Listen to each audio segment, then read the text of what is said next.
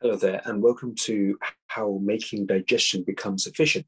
So, in this particular task, uh, we're going to be looking at hydrochloric acid and also bile and how they make digestion more efficient in our bodies.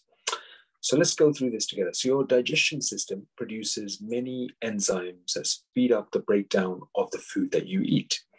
As your body is kept at a fairly steady 37 degrees centigrade, your enzymes have an optimum temperature that allows them to work as fast as possible.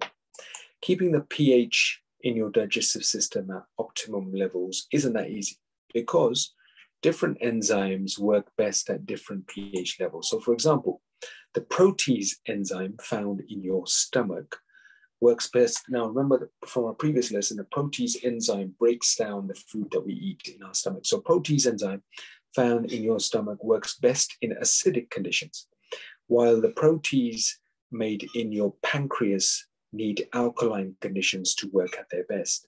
So, your body makes a variety of different chemicals that help to keep conditions ideal for your enzymes all the way through your digestive system.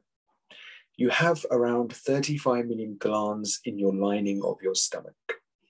These secrete pepsin, a chemical called pepsin, uh, a protease enzyme, to digest the protein that you eat. Pepsin works best in an acidic pH.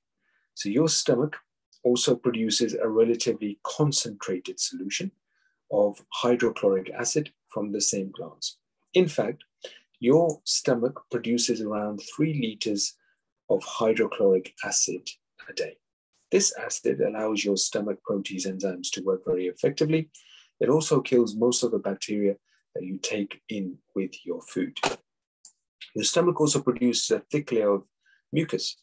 The, this coats your stomach walls and protects them from being digested by the acid and enzymes. So if someone develops a stomach ulcer, for example, the protecting mucus is lost and acid production may just increase.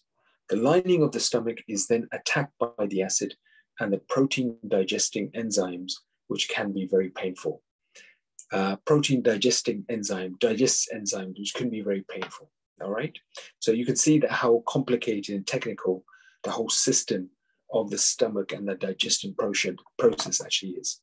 After eating a meal, a few hours later, depending on the size and the type of the meal, your food leaves your stomach.